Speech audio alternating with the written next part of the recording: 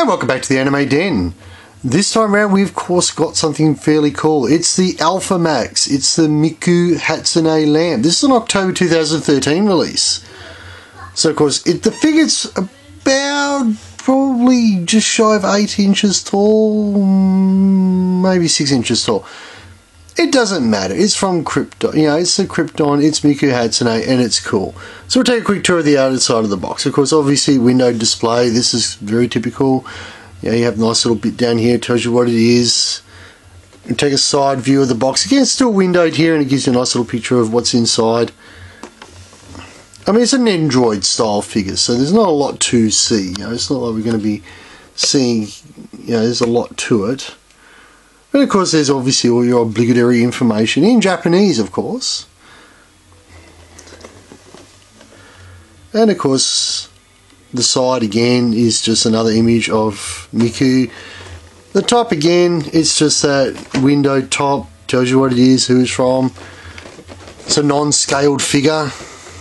And black. Because we didn't come to see that, we came to actually look at the figure. So just give us two moments and we'll have this figure out. And sorry for that little pause there, I had to step away and get a knife.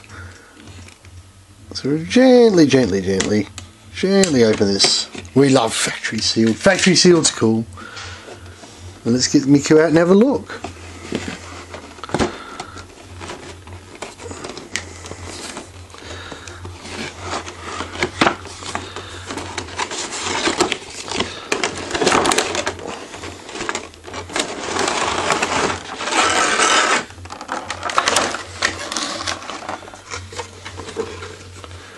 We'll just discard the box. See, what we see straight is we get dual layers.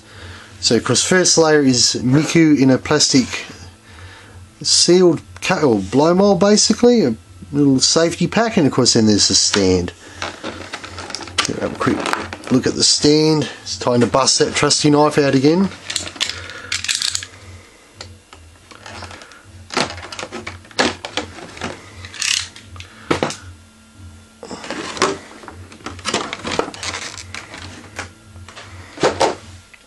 So we'll start with the stand because it's that very nice Vocaloid inspired sort of stand, nice little musical notes on the top of it. It's, this is sort of has a bit of a Halloween theme about it.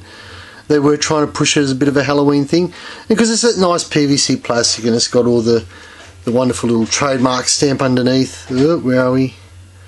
If we can see it. Oh, that's not even going to help. And of course it has the pegs for there we go, the pegs for Miku's feet. So that's the stand. Now let's get Miku out.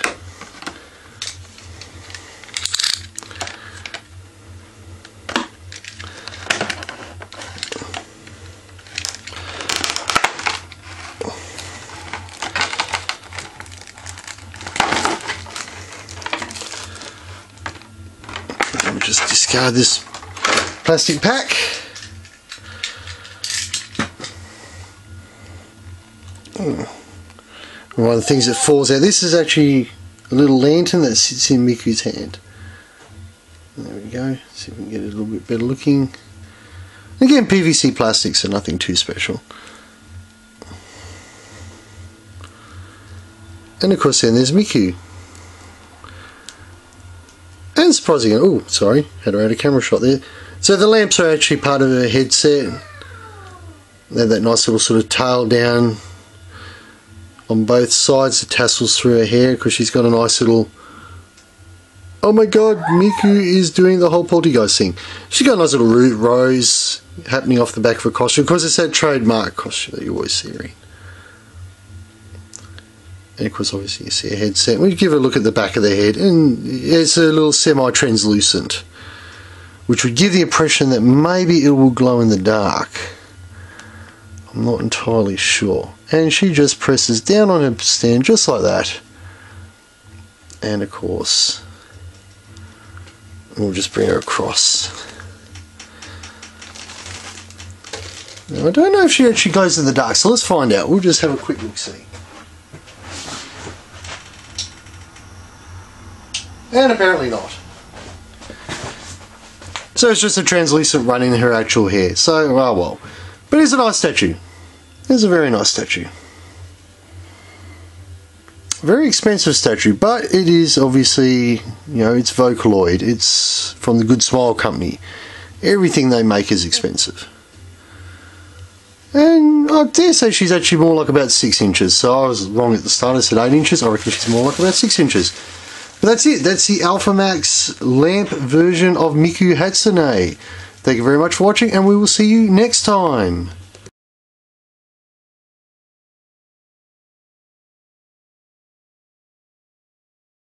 Oh, as a little side note, since I didn't look in the bottom of the box, of course, you get the postcard. Oh, oh it doesn't really work. But it's a postcard from Hatsune Miku, which is, of course, just an image of the statue. So that's my little MB. Thank you very much for watching. See you next time.